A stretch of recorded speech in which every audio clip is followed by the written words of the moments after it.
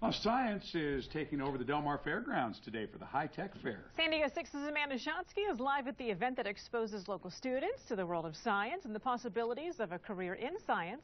Let's get out to Amanda. Yeah, this is a very cool event. And guys, I don't know why, but I seem to need a hat in every single of my live shots. So I found one that's very fitting for the occasion here. And let me ask you, what the heck is this?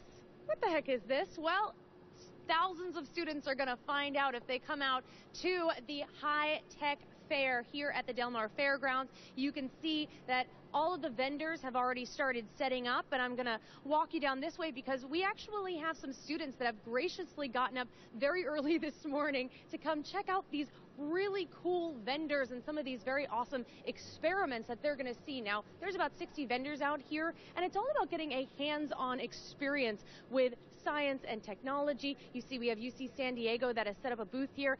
I'm going to interrupt Alex back here, who is the scientist on hand. What are you guys working on here? Hey, so I'm Alex, and I manage the geological collections at Scripps, uh, Institution of Oceanography.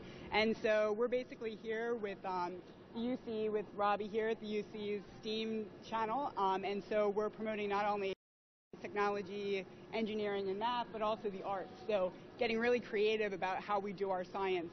Um, so let's talk about what you have on the table here, because to be honest, I didn't recognize anything except for these Reese's Pieces right over here. So, what the heck is everything else? Awesome. So we're basically a repository of uh, sediment cores and rocks and microfossils from the bottom of the ocean. And so we actually act like a, a, lending library, but we don't expect to get our samples back. And so people request samples from all of our ocean bottoms. Um, we also have a growing coral collection.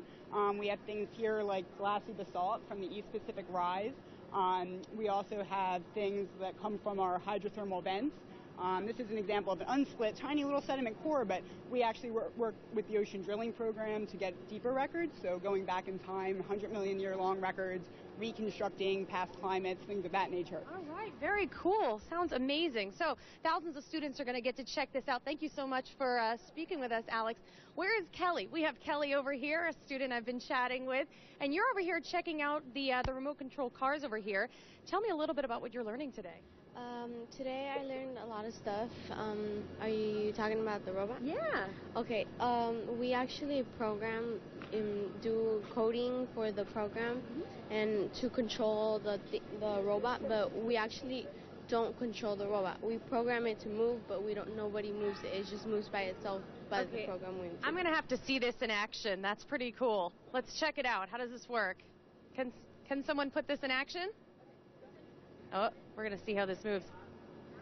So, no one's controlling this, correct? No, it's no one's controlling it. It's moving by itself. How it we program it, it moves. That is so cool. Look at that. There you go. It programs by its it moves all by itself. So this is just one of the things that students will get to check out. Uh, the High Tech Fair.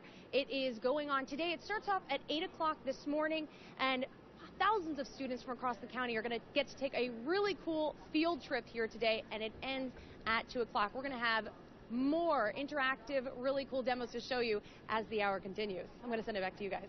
I think you're going to have to get a bigger hairnet. You've got a lot of hair, girl. yeah, it just doesn't contain it, does it? No. All right.